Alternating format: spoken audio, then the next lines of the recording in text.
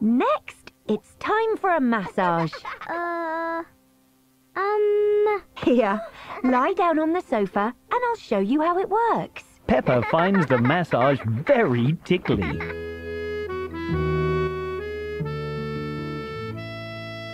Now let's see.